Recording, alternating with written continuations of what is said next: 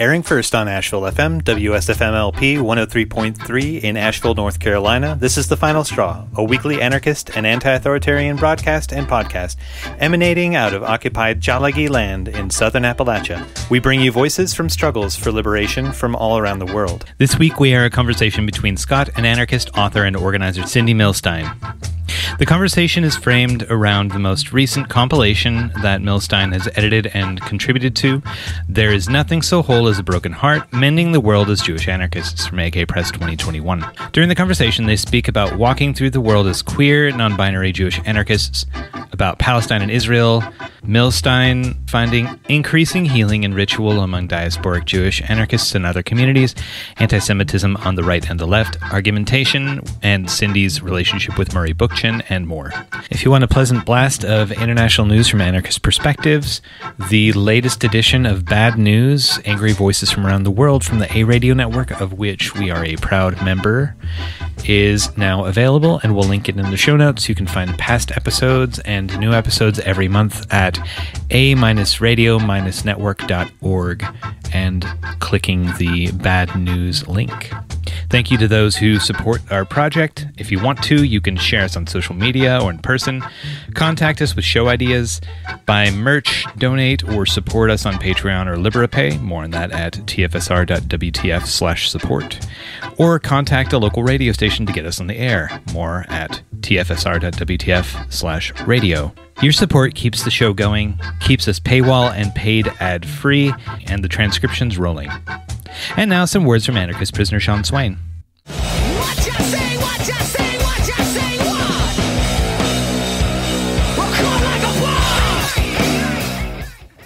Joe Biden went on a road trip this week. His intention was to reassure the world. He wants everyone to know that Biden isn't Trump. That the new, rich, white septuagenarian who chronically touches women in creepy and inappropriate ways is nothing like the old, rich, white septuagenarian who chronically touched women in creepy and inappropriate ways. The highlight of this reassuring Biden road trip was his face-to-face meeting with Russian President Vladimir Putin. The media really played this up. We were reminded how, as Vice President Joe Biden told Putin he has no soul, all the graphics on the mainstream media featured snapshots of Biden and Putin, both in profile, facing each other menacingly. It looked like the poster to a boxing match. Below it, the words, Biden versus Putin. If you didn't know better, you'd think that instead of two politicians drinking coffee and lying to each other, you might see Joe or Vlad leap across the table and put his nemesis in a chokehold or something know that to not be the case, at least with Biden. In the last presidential election, where my write-in votes were never tallied, I challenged Biden and Harris to a two-on-one, no holds barred, no pinfall, submission only, tables, ladders, and chairs cage match. And uh, Biden never responded. If he won't fight me two-on-one with Kamala Harris to assist, he certainly won't go after Putin one on one. As for Putin, there's no way to know if he'll go over the table with Biden. There are photos of Putin riding a horse with his shirt off. A guy who rides a horse with his shirt off just might do anything. In the lead up, we were told that Biden was going to get tough with Putin, challenging him on his record on human rights, democracy, and the treatment of Alexei Navalny, Putin's opposition. The implication, of course, is that Biden can get tough with Putin because the U.S. record on human rights, democracy, and treatment of political dissidents is so immaculate. That's the narrative being projected anyway, that the United States, of all the countries of the world, puts on its cape and tights to defend human rights, democracy, and the treatment of political dissidents. I call bullshit. American hypocrisy knows no bounds. The U.S. record on human rights, democracy, and treatment of political dissidents is absolutely abysmal. Biden confronting Putin and calling him a bad actor is like Steven Seagal confronting Liam Neeson and calling him a bad actor. Take the U.S. human rights record. The U.S. gives millions a day to Israel, a top five human rights abuser, and then vetoes any UN resolution calling for sanctions. At home, the U.S. maintains a hyper-militarized police force that slaughters its own citizens at alarming rates and locks up a larger percentage of its population than any nation in all of human history. This, after Biden promised justice reform on the campaign trail, but hasn't so much as mentioned it since getting elected. It appears Black Lives Matter in November every four years. So, I don't know who Joe Biden is to preach to anyone about human rights. As for democracy, consider this irony. As Biden sits down across from Putin, in states all over the U.S., new laws are being passed to suppress voter turnout and roll back protections for voting rights. And while the U.S. complains of Russian voter interference, let's not forget who wrote the playbook on that. As the U.S. demanded free elections in Cuba for decades, while secretly funding and actively supporting the opposition parties there, making free elections impossible. And then, of course, toppling duly elected leaders the U.S. didn't like all over the world, like Salvador Allende in Chile. With no significant changes to U.S. policy, I don't know who Joe Biden is to preach to anyone about democracy. And that brings us to the treatment of political dissidents. Putin has been accused of trying to kill Alexei Navalny, then locking him up and silencing him for being a political threat. Not to diminish the situation that confronts Alexei Navalny, but even accepting what the U.S. media says, Russia hasn't done anything to Alexei Navalny that the U.S. hasn't done to me. Not to make this all about me, but for a moment, I'm going to make this all about me. I was targeted for my ideology on orders of the FBI, at least according to prison officials. Ideology. That means the government didn't like my politics, just like Russia doesn't like Navalny's. I was tortured. Starvation, extended extreme cold, sleep deprivation, filthy environs, sensory deprivation. And I was repeatedly black-sited in place while Biden was vice president and officials hatched a plot to kill me and make it look like suicide. All of this is now before the Inter-American Commission on Human Rights, Swain versus the United States, case number 14.146. So I have to ask, what is Russia doing to its political dissidents that the U.S. doesn't do to its own? Sure, the Biden optics are better than the last clown, but the substance sucks.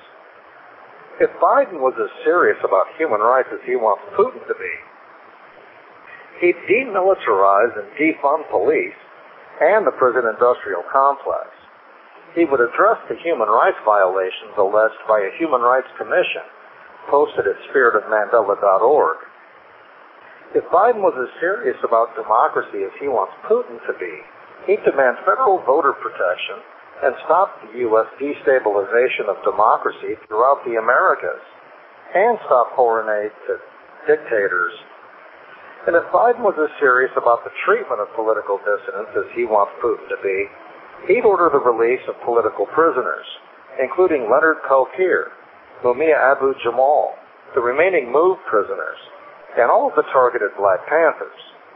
He'd declare amnesty for Assata Shakur in Cuba, and in my case, he'd emailed the State Department operative assigned to me, Hickman AA at state.gov, and demand that she arrange my pardon with Ohio Governor Mike DeWine. If Biden was serious, that's what we'd get. But we don't. Instead, we get good optics. We get photo ops and sound bites. I've said before that there's no difference between Democrats and Republicans because they both make good hostages. Since I said that, nothing's changed because, well, nothing's changed. This is anarchist prisoner Sean Swain, an exile from Ohio at Buckingham Correctional in Dillwyn, Virginia. If you're listening, You are the resistance. You can write to Sean Swain by addressing letters to Sean Swain, number 201 5638, Buckingham Correctional Center, P.O. Box 630, Dillwyn, Virginia 23936. You can find his past writings, recordings of his audio segments, and updates on his case at seanswain.org, or now follow him on Twitter at, at Swain Rocks. Could you introduce yourself for the listeners, um, your name and pronouns, and any other information that you'd like people to know about you in the beginning? Yeah, first, I really want to thank you for having me on the final straw and preparing so well ahead of time for this. Um, my name is Cindy Milstein, and I use they or he for pronouns. And yeah, um, prior to the pandemic, I was doing a lot of anarchist organizing and including Anarchist Summer School and was part of the Montreal Book Fair Collective. And I focus a lot on doing care, uh, solidarity, and grief um, projects. And I also do books. So um, on the show today about the latest anthology I just did.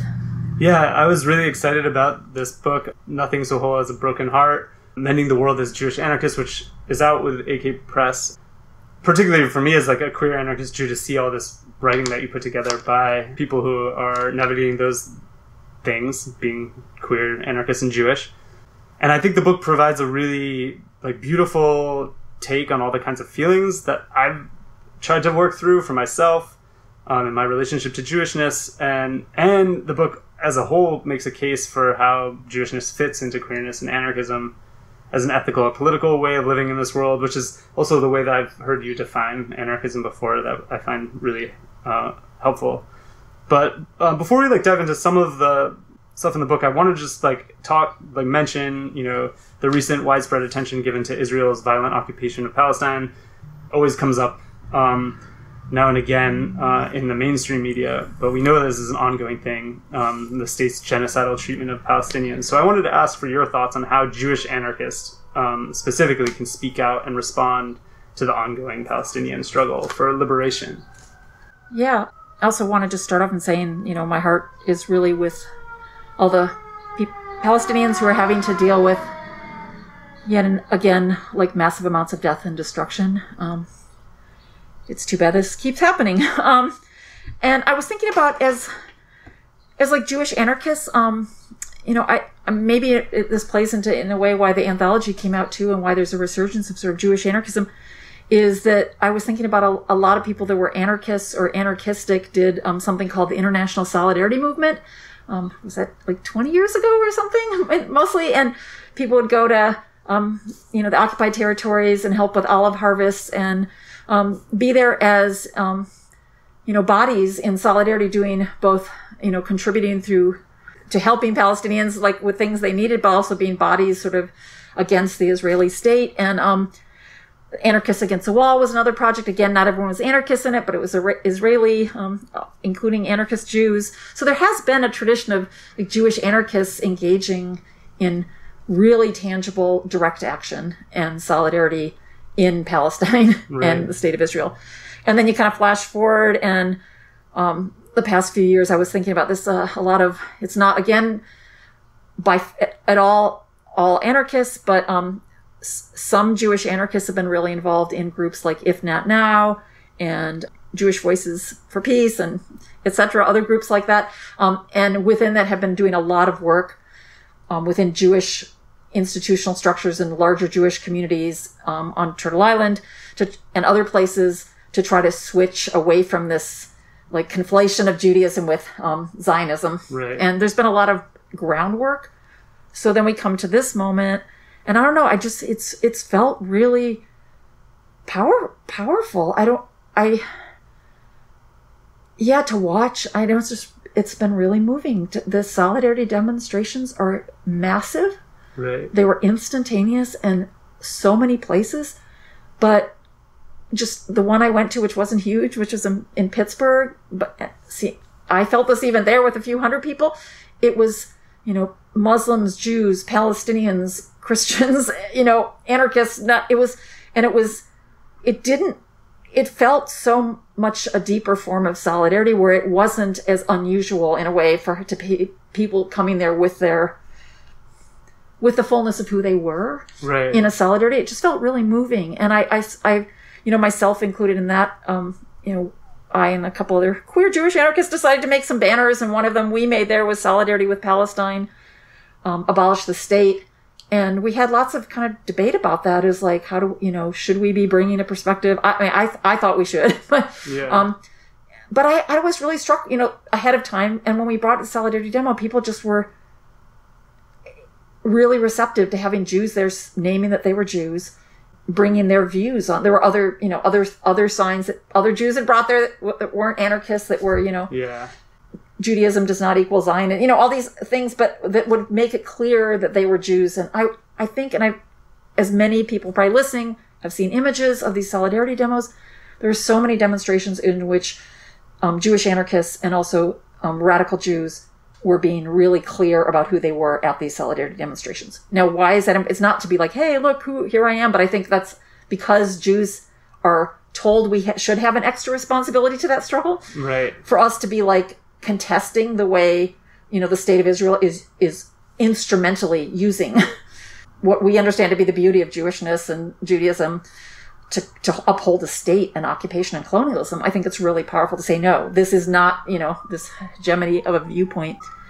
And I think the other thing a lot of Jewish anarchists have been doing is you know, holding spaces for um, also the grief of people being killed. Um, again, I was part of a, I, I didn't organize this, but some Jewish anarchists in Pittsburgh organized a really beautiful um, Kaddish, a mourning prayer for a half hour in the Jewish neighborhood on Shabbat, which means a lot of Jews were walking around seeing us do this. Yeah. And it was a half mile from the Tree of Life Synagogue. And they had, it was the same corner where they had done many different vigils and grief rituals and other things around the white supremacist murders at the Tree of Life only a little over two years ago. So it's just felt really powerful to be there and be like, you know, we understand because of our own traditions of mourning why those traditions actually compel us to be in solidarity with other people and their their pain when they're sick or dying or after death. And that's it's it actually it isn't just those traditions don't just apply to us. They compel us to be here for other people. It was very beautiful. So i want to say just wrap wrap this sort of up with jewish anarchists. I've just been watching around. I think it's like a lot of anarchists but jewish anarchists have been really throwing themselves for palestinian solidarity forms of direct mutual aid. Um, Yeah. and um, doing a lot of really beautiful speaking and writing and um, organizing again you know very visibly. And i think that's a, a change.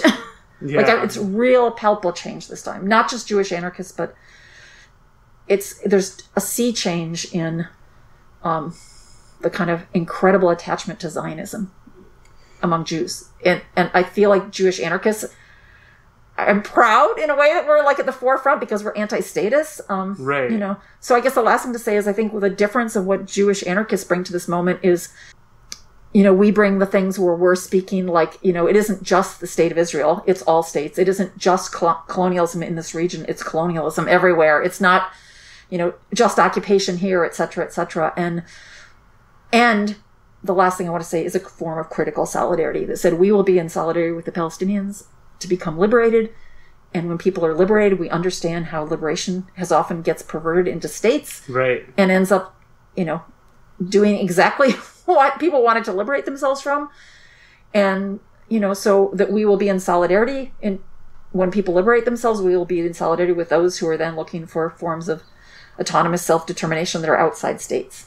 Yeah, that seems so important because, like, on in addition to the whatever the way that people talk about the responsibility of Jews to speak out against um, Israeli state violence uh, against Palestinians, then you add the like responsibility of anarchists to pro- provide a take on these situations that's also anti-state that is solidarity but not saying well we need to support anything that's going to be against that state. Like some you know leftist or state communist type people will like just take whatever side is against you know the us or israel Yeah. um, so it's like a more nuanced yeah. approach and i think that's I, i'm really glad you brought that up to like think about those two things kind of overlapping in the jewish anarchist response Yeah. No, and a lot of anarch, you know, there's also anarchists who aren't Jewish who are doing pro- profoundly beautiful work right now right in terms of creating, you know, you know, all sorts of action, I mean, beautiful actions, direct actions, and other forms of organizing. But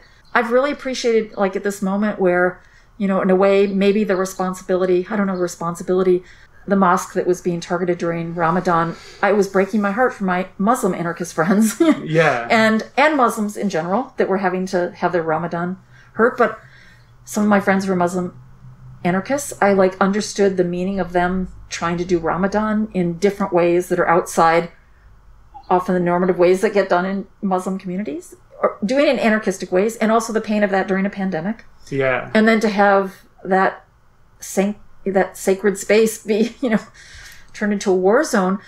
But I really that mosque just really touched me as an anarchist because I'm like, here was a space that's a a sacred site. It was a sacred site for all different peoples, Yeah. Right. you know, centuries and centuries ago. And it's because of the state and colonialism, it's been turned into this horrible battleground, right? So yeah. In a way, as Jews, for us to say Jewish anarchists to have a special relationship to say, could we envision a time when we could come to different forms of solidarity again mm-hmm. across across our you know various understandings of our of who we are Yeah. and stop essentializing it. And I so I guess that's my last thing I think Jewish anarchists bring really to this moment is looking at people as deeply fully human and messy and flawed and instead of just going the palestinians being like there's a range of viewpoints in the palestinians there's a range of viewpoints in Jew- all eh, there's never there's no category that's some essential pure right i feel like jewish anarchists have been helping against a sort of essentialist politics which leads more toward fascistic forms of thinking when you just flatten people out to one category instead of seeing the fullness of people and being in solidarity with, with them through moments and then through other moments being again in critical solidarity. Right. I think that's a much more respectful way to look at each other as full human beings, you know, and and see the paint. Even the solidarity the solidarity demo I went to was was just so beautiful because I was just watching. It was kind of a the people hosting it were more liberal, you know. Us Yeah. anarchists were st- still glad we went, but you know, um, it, but they were so sweet about anyone that came up and wanted to talk, and I was really struck by people just wanting to come tell their stories of their relationship to that place called Jerusalem, you know, and it was very moving to listen to people's just histories and you know personal stories of their connection, and them not wanting it to be both you know an occupation, a battleground, and a state, a place that a state and settlers are engaging in, you know Yeah. and it, from a very yeah human's a flawed term but you know from a, Yeah. but anyway from a very yeah experiential thing where it broke across these kind of barriers and you know i don't anarchists seem often good at doing that in a way where we're able to see kind of the messy full mess and jews are definitely good at that so you combine jewish anarchists looking at the kind of wrestling with all the complexities and the questions Yeah, that I what you said really struck something in me to think about why it would be that Jew Jewish people, specifically Jewish anarchists, would be positioned in a good way to kind of you know take apart those essentializing identities. Is there something particular about how the history of Jews in all of these different places they've been let in and kicked out and harmed and I don't know used for things um, that allows them to think about identity or us, I guess, to think about identity differently than you know we get told to from our kind of dominant culture. That that's really exciting idea. I don't know if you have any other thoughts about that about like why why we're as Jews and Jewish anarchists in such a good place to kind of articulate identity not as this flat or singular thing, a Yeah. centralized thing. Yeah. I mean, I don't know, the more I've come back to my own, like, as part of what this anthology, this sort of resurgence of Jewish anarchism was just feels so beautiful and moving. I think we're all in this incredible, we're so glad to find each other and we're so glad to all be like learning so much from each other and, and challenging. I like feel so challenged in, in a good generative way with myself. Like, wait, I never, never understood that I understood this, you know? And so some of, for me is a lot of it's like just been like, well, this is who I am or this is the culture I was raised in. And then I really want to, the generosity of so many people right now who are Jewish anarchists who, you know, a range of experiences, but a lot of Jewish anarchists are really going back to Torah and to try and teaching it in ways often almost all overwhelmingly, or maybe it's the people I hang out with, they're trans and, and, and queer. Yeah. Jewish anarchists. And I think there's something to this, like when you go back and you start looking at the text, and I'm no scholar in this yet, but I'm really enjoying going and scrutinizing them. It's the whole structure is intended to be a communal, educational, ongoing investigation. And you have things, you have all these things written down, but then it's this living it's intended to be argued with and interpreted and debated and questions are elevated right. like it's it's it it, it, intend, it intends for you to question and to to little i keep coming back to this word but i think it's really prominent within judaism is we wrestle you know we wrestle with everything. Right. and you know even like a friend of mine who does believe in god i don't. At one point i said i don't believe in god and they're like but there isn't that notion of belief in god in judaism. There's like a wrestling with what it, what god is in what context and where Yeah. and how that plays itself out because it's different depending on there's a bunch of different names or time periods or context but it's also it's do you do you trust in it like if you start translating some of the words that are originally connected mm-hmm. do you trust in in some kind of thing that's greater than us? And i go i, I don't know. You know it's like all these it just raises these different questions. There wasn't there isn't an answer right? Yeah. so and i don't know i just so somehow you combine things that we think are just our cultural things and you're like well it's actually even if i'm not religious let's say or i didn't come you know come through that training or i don't believe in god i'm a product of the culture of thousands of years of people that have used those tools to keep together yeah. and so i don't know i somehow then you bring that with to anarchism which is also about questioning everything and not believing in authority you know and, and you kind of i think that the two together work really well because there are plenty of jews that will still believe in authority and will fi- will wrestle with and debate and ha- raise all these questions in order to you know solidify authority Yeah. Like- right.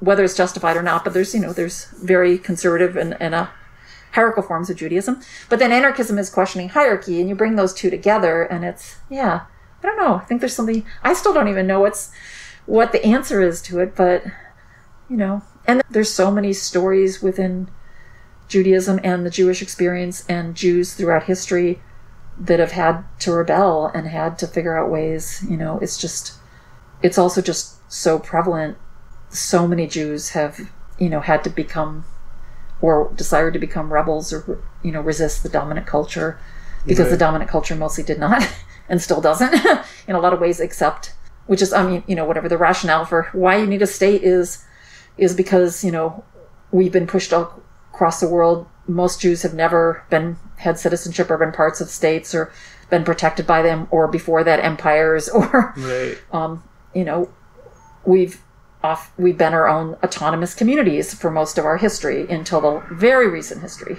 The state of Israel is so young; it's such a baby, right? Yeah. And it's not the whole. It's such a minor part of Jewish understanding of how you stay together, and in a very anarchistic way. Before that, The state is an is a relatively new invention anyway. Yeah, no, but I mean, I guess maybe for even for sort of this idea that Jews connecting. Oh, I was talking protection. Okay, Oh, yeah. So you know, I understand. Like at some point, you know, most people that are that face you know enslavement and displacement and genocide and destruction of all their institutions, their languages, etc.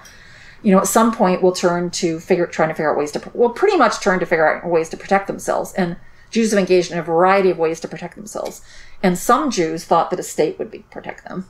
Others of us like anarchist jews understand that states do not protect us. But i want to you know there is there is that i get how you know i think one thing that gives us spe- especially position to understand that states don't and a larger sense of solidarity is that we understand that almost nothing has protected us um, Right. and that we have to protect ourselves Yeah. and other communities have experienced that too. I don't. That's not a specifically just Jewish. If you're black and Jewish, if you're black, you know, Right. other commu- indigenous or indigenous and Jewish, a whole bunch of other categories of people have experienced that. Um, but it gives you, I think, when you combine that again, Jewish with anarchism, there's a special like we have never, we've been pushed across all borders. We don't really belong to any nation states. Whenever there's been moments of mass antagonism toward us it's turned into violence it's we've only pretty much you know a few, sometimes other people protect us but they've been people not states Yeah. communities not states Yeah. Exactly. and that in a way is beautiful too right it's like we figured out how to protect our community self-defense and mm-hmm. community resilience and now you have this moment and you know we i think that are jewish anarchists like feel such affinity with people who are like the palestinians that are like we we're having to figure out how to protect ourselves and we know how to protect ourselves and we know how to resist and we've been doing this now for a while mm-hmm. and you know in a way, there's this recognition of like, we get that. That's what you have to do to keep your community together. Yeah. Because most Palestinians are in diaspora now too, right? Yeah, yeah, that's a good point, and, and it's interesting because like the main like narrative of the necessity of the state of Israel to protect the people often blinds people to the fact of what's going on between Israel and and the Palestinians, where it has such a reminiscence to the things that the Jews have experienced from state from violent states in the past. And I really liked also just to go back. Um, one thing I heard in what you were saying was like, um, you know, the idea of like instead of belief in God, like wrestling with God, made me think about like committing to wrestling with God and committing to the question is also like the way anarchists sort of commit to the struggle um, as a on like not an an end point um, that we're gonna reach, but something that we have to keep doing and keep asking um, Yeah. so that we can always counter where power starts to collect and do its thing against Yeah. other people. Yeah, but you know, in a way, I, I feel like I think why it's been really increasingly powerful to me as a, like non-binary queer Jew and an anarchist is to bring all these things together. But within anarchism, like we do wrestle as anarchists with things all the time, like mm-hmm. constantly. Like you know, okay, there's a pandemic. Let's wrestle with what this means now and how the world's going to shift and what we should do to respond. But we don't really have places that bring us together to do that regularly. And so it it like right now I'm really struck by I know a lot of us are myself included are grappling with like this has been like a hellish or one of the most hellish 13 or 14 months. A lot of us are I mean collective trauma, a lot of us are doing really badly, have had a lot of bad and there's we don't as anarchists, I know all of us need to be talking about it and thinking about it and working through wrestling with what just happened to us Yeah. and we're not there's no place to go to do that and as a jew who's an anarchist i know i have places to do that because judaism for thousands of years one way jews have survived i'm really you know any diasporic people I mean, it's not just jews but jews has been almost you know 6000 years or thousands of years um any diasporic peoples in a way that have tried to stay, haven't been protected by states or empires or you know church hierarchies um, have have figured out how to create community without states Yeah. and have and keep their culture together without a state and and and part of that within Judaism is this really intricate amount of ritual and holidays and time and creating time for things. And so I was especially struck by it this year, maybe because this year's been so hard, but during Passover, you know, eight days of, you know, you don't necessarily celebrate every day, but that time period asks of us, and it has for thousands of years, to get together and for hours wrestle with the story of what it meant to be enslaved, what it meant to engage in forms of, you know, resistance and direct action to get out of that. Mm-hmm. And then to leave that and not know where you're going, to be liberated but not free. Yeah. And then, you know, the first moment in that this year it really struck me was to create this temporary space to start bringing people together and that felt sacred and that we could begin to sort of process it and heal from it and feel whatever, you know, some people, I, I'm not going to describe it religiously, but some people might. so this space that, like as anarchists, I mean, you know, here we are in Asheville and yesterday you and I went to Firestorm anarchist feminist queer collective bookstore 13 years birthday party in a park and for i don't know a vast you know i'm visiting a lot of us it was the first time we've been with you know queer feminist anarchists together in this beautiful just space of celebrating and being gathering which is what our spaces are usually right Right. and I was so it just felt like okay, this is what I all of us need, right? To and but within Judaism, there's so many places like that, and so we set up these spaces really regularly in Judaism. During Pesach, we come Passover, we constantly are debating. So what does it mean? To liberate yourself, and then how do you, you know, in the story, you have 40 days where people are wandering around trying to figure out how to create freedom or how to begin to understand that. But you really every year wrestle with it, you know? Yeah. are we good enough to be free? How do we be free? How do we liberate ourselves? Do we do a good job of it? Blah blah. And this year, the conversation I went to online about it, someone pointed out because Jews like to like put they go, hey, but there's another piece to the story. If you go a few more pages ahead in the Torah, it talks about how there's this whole debate about how do you treat slaves well, and they go, why would we have done that after we just liberated ourselves from slavery? And I was like, well, you know, that is part of wrestling with like if if you become the person that suddenly is free, maybe you're not as free as you think. And what if you start enslaving other people? Shouldn't you start wrestling with why you're doing it and how you're treating them? And then maybe you'll start thinking, hey, this isn't what we want to be doing. So we had this really nice conversation about how does sometime liberation turn into the opposite, which is exactly what's happening right now, right in the state of Israel. And I'm just like, okay, this is why as a Jewish anarchist, I'm just really appreciating spending more time within Jewish radical Jewish circles where we can say we actually do as you know one person in this conversation said why do we think even as radicals and queers it, it was there weren't all anarchists in the space but it was definitely a queer space um, Yeah. radical space why do we think you know what it's telling us in this passage is that all humans have the capacity to enslave other people and if we don't continually revisit that and remember that and reject it we're prone to doing it again more than if we forget to talk about it each year Yeah. and I thought, God, you know, I don't know. That's it. Just I feel like anarchist anarchism needs more. You know, it needs grief rituals for when things happen in our communities instead of maybe it happens sometimes, maybe it doesn't. It needs, you know, holidays outside of capitalist time where we, you know, Ju- there's such a richness within Judaism of ways to create community without states, ways to create solidarity without states. Um, Yeah, and also like practicing, almost like practicing conflict in a way, like the arguments and the reinterpretations in a way that isn't like doesn't like divide a community up uh, or ru- like tear everything apart or make you enemies. Like yeah, there's so much arguing and and disagreement that like is actually a richness rather than a problem or something to run away from. Um, yeah yeah i was really good friends with and was like really yeah taught me a lot and very generous with as a lot of jewish jewish anarchists are very generous people. It's really interesting. Like you it's because judaism there's such a compulsion you need to be studying and teaching and learning Yeah. all the time for the whole of your life. That's completely another value within judaism. Like every you're supposed the reason there's so much sacred out of capitalist out of you know time in judaism is it's meant you should spend time studying and learning and teaching and sharing ideas.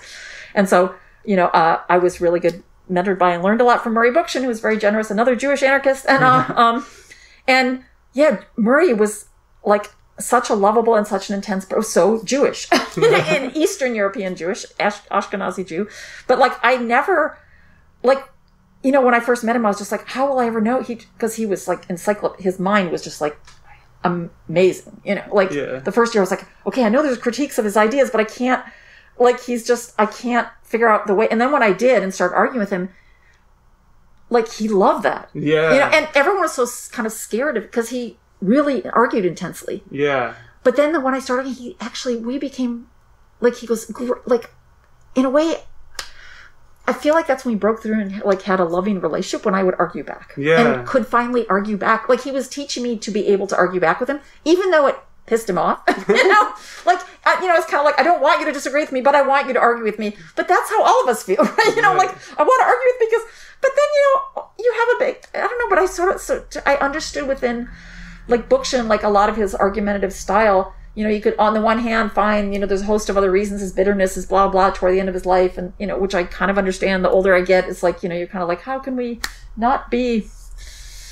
Yeah, I'm not going to get bitter, but you can you get tired being an anarchist for a long time because people, you know, don't stay anarchists for life or a whole bunch of other things. But but Murray had a really great mind about wrestling with ideas. Some phenomenon would happen, and he would want to debate it and argue it and think about it, and really intense. And we'd be almost nose to nose, almost screaming at each other about an idea. And then we would stop and we'd go, "I love you," and hug each other. Yeah. And that's so, at least culturally, how I understand Judaism to Right, me. Yeah. So I never took it as he was upset with me. And I get that I do that sometimes when I argue, and then I'm like, I'm not being, I'm not being intense because I'm angry at you. I'm just enjoying, like, so enjoying that our minds are moving so, like, intensely because none of us know the answer. And I did appreciate this about Murray. Murray's like, if I teach you nothing else, I want to teach you to think critically and always imagine something else, you know. And Yeah. even if he ended up disagreeing with me, that was not, you know, like that really is what he wanted. And it's such a Jewish thing. I want you to learn to think for yourself. And then I want us to continue to argue. And none of us know the answer. And we're not going to know. We always, always based on the context. And then we have to, you know, if you look at his body of his work, stick with Murray for a bit. His like his work is mostly very dynamic. You can disagree with different periods and different shifts, but he's this he's constantly trying to reinterpret his own ideas through the lens of society and reinterpret society through the lens of you know new ideas and bringing in other theorists and because only one person he didn't there's a whole host of things he ignored and didn't bring in right, Right. queer theory could have you you know colonial you know Yeah. but what he did was so similar to a Jewish practice of continuing to push yourself and challenge yourself on the wrestle. And you know, as anarchists, I think we could you know stand to bring in whether you're Jew that Jewishness or not, but like a more generous sense of wrestling with ideas. Like I've mm-hmm. created a lot of anarchist spaces where I'm like, let's all come into the room, pretend none of us know the answer because none of us do, and have a big conversation about it. And it's I've been so perplexed. I've tried that so experiment so many times. It is really hard to get a room full of anarchists to set aside what their preconceived notion of the answer they think is right to solving capitalism. I'm like, if any of us knew, we would have done, or whatever Yeah. the whatever the question is. You know? And I think it's so much more interesting to me, and I really am coming to the understand this being more than my Judaism and my anarchism is that it's actually okay for us to come in with questions, not answers, and then together question the questions and wrestle with them and come out with more questions and maybe a little bit better understanding. That's probably the best we can hope for. Right. You know. Asking better questions. Yeah. I don't know. It's just, it's a, yeah. So I guess I'm getting wandering around on different topics, which is another very Jewish trait. you wander around, you come back to somewhere, but, uh, a very diasporic trait. You wander around, but you know kind of where you're going. This is the final straw, and you're hearing Scott's conversation with Cindy Milstein about being Jewish anarchists and Cindy's new book, There Is Nothing So Whole as a Broken Heart, out from AK Press. No, I love that. Um, I, and that, yeah, I mean, that's something I share too. And it's some, an experience I've had too with people that are close to me being like, my wanting to argue about that isn't, is love. it's not, it's not like anger or anything. And my intensity sometimes can read that way, but I, I'm always wanting that. And I, I love just like having to face the conflict rather than let it sit because that's when we like get silenced and don't work together and i don't know like it's, Yeah. it's much better to to work those things through so i could see that that you know the opening this line of like jewish anarchism trying to bring some of that jewishness into anarchism too. And it does seem again like the i said this in the beginning of our conversation but this book seems timely in a way to me because i've been part of communities doing the same kind of thing that this book represents. And then through my conversations with you around the book meeting more and more people like who are all like this is a moment to to rethink it all. Um and so actually a, a question kind of along that line and going back also to how you're saying there's a sea change in terms of like the way that people are starting to distinguish jewishness from the state of israel from zionism your book also shows how like there's different forms of Judaism, and like even what you're talking about, it's not a uniform thing. It's not a, hier- uh, a one centralized hierarchy of like thought and beliefs.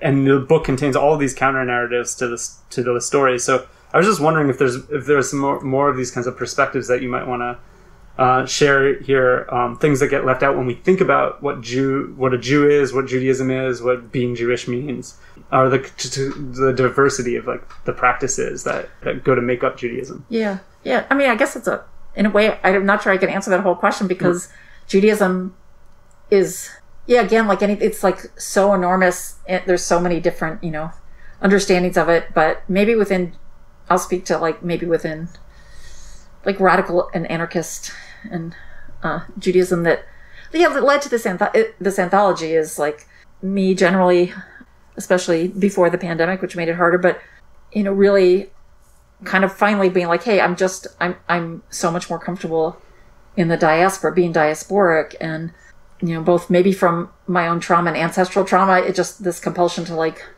move for mm. some. I'm re- you know realizing that's part of like how I protect myself and safety in a way, but also this way in which diaspora is like making connections and being really intentional about community and scattering seeds and I don't know I like doing that so but what so I was be, you know for a few years I was just going at, when I was in all these different communities across Turtle Island and a little bit of other places I just every it was so striking to me like suddenly like everywhere I go people go hey you happen to be staying tonight in a house where everyone's queer Jewish anarchist do you want to we're also going to have a Shabbat dinner and then you'd sit down and people would start talking about how they're doing language, you know, Ladino and Yiddish language classes, or they did a demonstration together as, you know, anarchist Jews or blah, blah, blah. And I was, and after like, you know, I was like, what is going on? There's suddenly, you know, and then I started, you know, being looped into friends going, hey, we're going to start doing, um, every month, uh, meeting up some of us who are queer and trans for Rosh Hodesh, which is like the new month, and do conversations and rituals around that, which I'm still doing, and you know,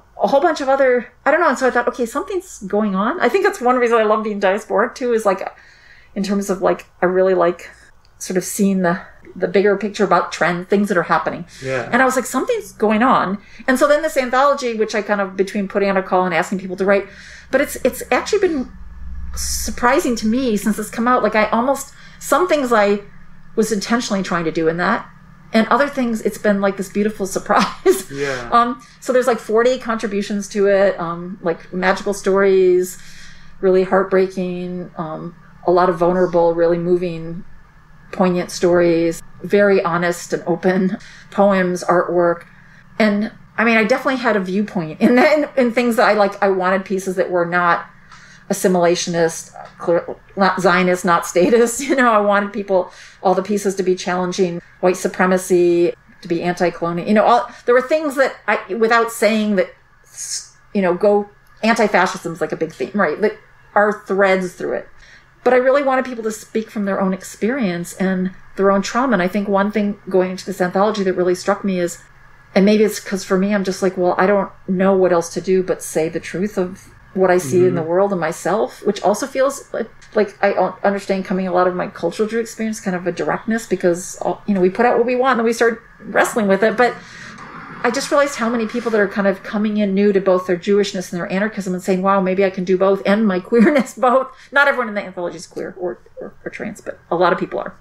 And was that a lot of people were like, "But I, who am I to say?" Because you know, within the wider anarchist and left and radical progressive circles, people see Jews as not like, what do you guys have to complain about? You're not, you're not facing any difficulties. You're not, you know, you're fine. No one's, there's no anti-Semitism. There's nothing going on.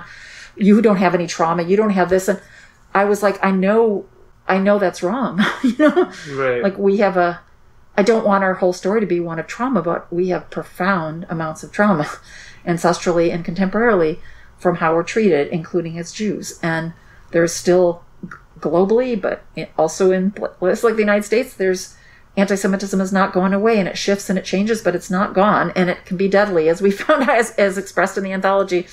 There's a lot of pieces on the Tree of Life because that was kind of a pivotal moment that happened during the anthology being produced. But yeah, so the difference is, I think, what struck me in this was I really wanted people to speak to their experiences with a forcefulness and a boldness and not hide that because I understand that we it isn't a contest. We have just as much in stake in fighting white supremacy and fascism because white supremacy and fascism are fundamentally anti Semitic. See Mhm. Jews as other. See us as a threat to white supremacy, a threat to states. And we are. so I want them to. But I also understand that they target us as people they want to kill. Right? And yeah. it- I'm not saying it's all the same. You know, the history of anti-blackness is not the same as the history of anti-Semitism, let's say, or anti-indigenous understandings, or anti all the other antis from the, that are part of the founding of, let's just say, the United States. But there's a pretty serious connection between them all. There is a very powerful and real connection between them all, and our fights, our fates are linked. Our liberation is linked. Our pain is linked, and so to come back to your question on the differences, I wanted people to be like, it's okay to say that. It's okay to say that because, you know, I, I, I really felt the pain of a lot of Asians lately, a very flattened out category, because I know that does not encompass all the diversity within that phrase. So my apologies for using that as a shorthand. Or Muslims or other people that go, why don't we get named as often? Or why don't people see us? Or why do people buy into the stupid stereotypes that make it seem like we're not in the bullseye of fascism or the state or you know, hate, all these other things, right? And that pain of like, I know we can't just have laundry lists of things, right? So I wanted in this anthology to show, to human. I feel like when people see pain, each other's pain, and they understand like colonialism has stolen a lot from all of us. Capitalism has stolen, the state has, and that pain feels similar, even if the histories are different. And through that pain, we can understand that the way to lessen those losses and create for liberation freedom is going to be in a shared struggle. But the experience in this anthology, to come back to that question, really surprised me after writing. Wait, so many people want to write about their relationship to coming to spiritual practices, whether that was be- going to rabbinical school or, you know, embracing uh, trusts in God or understandings of God. There's, so there's, you know, that which in an- another Jewish anarchist book wouldn't have gotten there, you know? Yeah. Um, and there's a profound amount of sort of wrestling with spirituality and rituals, another huge like people engaging in a lot of ritual, but different understandings of how you can use it as a personal practice or a, a political practice or you know combination thereof. I think it also shows the spectrum of like people coming in through whether they've you know what their relationship to Judaism was, whether they were, you know, raised to be religious or not religious or Zionist or not Zionist or whether they were Jewish or converted or not or how they came to it. I really wanted people's stories to be their own unique stories Yeah. to really show that it isn't, there isn't this one path. There never is, you know, but I really wanted that to be like in, the differentiation of our experience is, is a, is a strength, not just Jews, you know, in any in any understand whether we're queers or feminists or indigenous or you know, like but there's something I, I don't know, I think I like doing like showing in anthologies like a dialogue that shows, you know, how difference can can not end up meaning that people have to be antagonistic to each other. I don't know. I'm trying to think of what your question about like different kinds of Judaism. I don't know. I, I think I'm not answering the question as well as like what different types of Judaism there were in it because I think a lot of them it's more an emphasis on how they choose to approach their Jewishness or their Judaism or their political practice. Milstein. Maybe you'd have a better answer. No, I think I think Okay. you answered it Yeah. like in a way that I I wasn't expecting, but it's like by having every contributor be um, you know forcefully uh, and vulnerably sharing their experience, you show that that each person's experience of Jewishness is is different, and yet also kind of is is is Jewishness, right, or Judaism. yeah. Um, so then it's like that becomes a kind of multifaceted version. In a way, my question kind of like would lead like, oh, there's these different kinds of Judaism and like A and B and C, but actually you're like telling me through the book that what we see is that there's all these different ways. There are all these strategies, rituals, practices, struggles, and for me, reading it was so helpful as a almost like therapeutically because I'm it's something that I mean, my Jew maybe as you're you've said my my Jewishness is something I'm constantly struggling with, and actually that made me think some of the stuff you were saying that um that maybe uh, in a way I feel like the Israel as the focus and then the kind of history, the legacy of the Shoah as a kind of def- defense of why Israel needs to be uh, as the same way that we see like identities get flattened out, like anti-Semitism, I feel like gets flattened out into this one thing, and like I could relate to the book, like you know, a lot of the ways that I've been brought back into Judaism as a, a beyond just sort of like a cultural uh, identity has been through trans Jews Uh-huh. and and seeing how they. I'm like, because I was always like, I can't be Jewish and like be queer and be a feminist and then I'm seeing like all of these trans Jews finding ways to do to do ritual. And like in the book there's one piece that I thought was so beautiful about like hormones. Like you know like a ritual a Jewish ritual around you know having your hormone shot.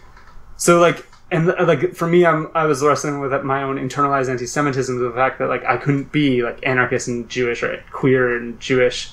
And your one of your pieces in the book that I found really important and beautiful was uh, and you know heartbreaking is you kind of going through all of this sort of everyday anti-Semitism that I think non-Jewish people don't realize that like we as Jews face like all the time. And I wonder if like you could talk a little bit about about that. You know the the experience of a sort of mundane anti-Semitism, not like the big, always the big violence, but like the, the, the even in like left spaces that should be you know Yeah. on the side of Jews. Um, Yeah. yeah. if you have some thoughts about that you would like to share, I'd, I'd love to Yeah. hear that. I mean, maybe it speaks to all the, in a way, all the different experiences is like, or what I was just saying about wanting people to be able to be like speak directly to their experiences because I've had so many experiences where, in general, people do not see anti-Semitism or take it seriously.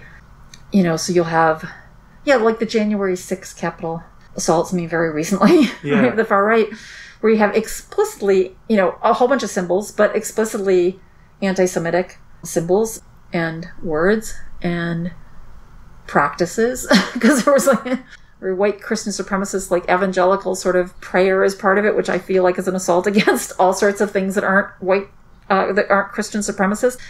But where nobody said I like I kept there was very little conversation about anti-Semitism or QAnon or all these recent phenomena. You know, you'll see lots. I mean, a lot has shifted where you know abolition is being named or anti-blackness is being named or white supremacy and that's a phenomenal leap because those things were not being named. But anti-semitism still is just like it's almost never spoken. And when i for years being in like radical spaces you know it's almost like it's it's i don't know whether it's a, it's like a anti-semitism light sort of in a sort of sense well jews have power why like why would you guys anti-semitism isn't real because you all have power you know? Right. and this that's at the heart of a lot of the conspiracy theories right? The jews are behind the scenes pulling the strings so when you're in leftist or anarchist spaces and people are basically saying we don't need to hear from you because you have all the benefits of society. And i'm like well we're also an- we're anarchists for a reason and we're talking about the liberation and freedom of everyone and hierarchy and even if and i don't even if i mean there's plenty of people of every identity that have you know we could look in every category of people that are seen as you know oppressed or targeted people and find some people that have better off situations. Yeah. and so i think it's this mythology that jews are somehow you know both all fine and um yeah have lots of power. But yeah i don't know. I just kept thinking how much that hurts is like when you needed people to come to your aid because you were being targeted for anti-semitism and nobody people just you know got angry at you laughed at you or went on with what they were doing and ignored it. And you know that the pain of how that feels no matter what our identities are right? You know we're being and at the peril to me as i understand is you can keep ignoring it until something awful happens. So one of the stories that i talk about that is how some swastika we happened to be in pittsburgh and some swastikas were painted on anarchist spaces a couple days before the tree of life or a week or so before the tree of life synagogue murders. And it's not a direct relationship but you know those two spaces made a choice not to tell anybody it happened, to buff it over, to not publicize it, to not Right. take it seriously, to not warn even the people that use that space, some of whom are Jewish and they know that, or queer, or other things. And even if you're not, but you know, like, but, and, and so this way in which, oh, that doesn't mean anything and we're not going to take it seriously. And then a few days later, a white supremacist walks into a clearly labeled Jewish space, you know, so, you know, as Jewish anarchists, we're like, we get that it's a da- all these things are dangerous, right? You know, Yeah. So I don't know that everyday Andrew. I, I like. I don't know. I I used a uh, a quote at the beginning from a piece I really like called "Feminist Feminism Hurts" by Sara Ahmed. Um, she talks, you know, patriarchy hurts because um, it's still happening, you know. And so that piece, I really like that piece. It's um, "Feminism Hurts" or "Feminist Hurts." I can't remember the exact title, but she uh, she talks about all these little moments that happen in your daily life if you're if you're gendered, you know, treated as female or treated mm-hmm. as heteronormative or whatever that just that patriarchy just makes all these assumptions and you keep trying to tell people about them and people don't take them seriously because they're like oh that's just someone you know this oh that's just that all these little things you can almost not give words to. And i was trying to sh- show in a way with anti-semitism a lot of us who are jewish have just had so many experiences you know? Yeah. from like questioning like thinking we eat odd foods to joking about i don't know you know practices to not taking seriously when people like are treating us with anti-semitism. And then now as you know i think another reason why there's a resurgence of jewish anarchism is because there's a resurgence of fascism around the world. And we un- viscerally under like so many of us have you know parents or grandparents or know people that were survi- survived pogroms or Shoah or other attacks in, more contemporaneously. And I think people think it's like this some far off distant thing. And I think it's not I don't know if to call it anti-Semitism but this way in not taking seriously the pain is when people kind of go oh, you don't understand what it means to like have your people tried to be killed off by structures and i was like i mean it, it's horrible that the you know holocaust industry whatever you want to call it that's turned it into kind of like a almost a parody of its Yeah. i don't know or and the state of israel u- is using it but that was like a massive genocide and it wasn't just jews. It was you know roma peoples and queers and people with disabilities and all the anarchists pretty much. And Yeah. you know it, it wiped out so many people. But underpinning that was anti-semitism. So you can't understand especially in like german you know forms of fascism national socialism you can't delink anti-semitism from it. But even contemporarily now within the last four years the number of like all the neo-nazis and the swastikas you still don't hear people talk like suddenly that's completely delinked from this history of anti-semitism and as someone who's jewish that feels so disturbing Yeah. you know, like I don't understand how you can stop saying Nazis have anything to do with right. with an anti-Semitic logic, and they have it in their own right. You know, so Yeah, I, I don't know. I, I mean, we could go into the analysis of like, you know, what does it mean theoretically, anti-Semitism, and what does it mean historically, and but there's just a pain in which people not taking it seriously when it has not that long ago they were trying to annihilate every single Jew in the entire world, including every single space and every single book and every single grave, and there was going to be one museum left that had every pieces of Jew, so you could go look and see to show how weird Jews were that was the end result of it, you know? And Yeah. it's like, even if that didn't happen, which it didn't, it's like, I don't understand why that pain doesn't, you know, of course we have pain, you know? And, you know, I was thinking, I saw this thing the other day, just the anti-Semitism was some, uh, something I, I copy at books for a living, it was in a book totally unrelated, but it was just a little tidbit, um, about how the schools in New York, when there was a wave of immigration, or a lot of Jews trying to get away from pogroms before Shoah, um, Yeah. and poured into New York City, especially, and had really huge Jewish communities, and a lot of them spoke Yiddish, and the public schools in New York were like, absolutely Yiddish. We will not allow Yiddish to be spoken in the public schools, and so they would wash the kids' mouth out with soap if they spoke Yiddish, and they would p- punish them. And it's not equivalent history, but I saw okay. There's the pain of being like I lost Yiddish. Like my gra- grandparents spoke Yiddish, and I my dad spoke it and he wanted to teach to me when I was really young. And I was like, why do I want to learn this language? Because they screamed at each other all the time in it. so I wouldn't understand when they were yelling at each other. Right. But now I'm like, that language was intentionally killed off by the state of Israel, officially, you know, and and the Nazis were trying to destroy it. And then you have a contemporary history in New York, and I think about the residential school history. It's not the same history. I'm not, but yeah. where we're going to take indigenous children away and we're going to beat their languages out of them, like quite literally. Yeah. Um, and the pain of people losing their languages, like that's a pain. And there's so much more that happened in those residential schools that's horrible and painful that t- continue to this day, right? And for us to be more like to understand that again, I really want to come back to that. The pain I feel over loss of language. You know, a lot of this resurgence of Jew- queer Jewish anarchists is like, let's relearn languages. You know, let's all the different, there's many, many different kinds of Jewish languages.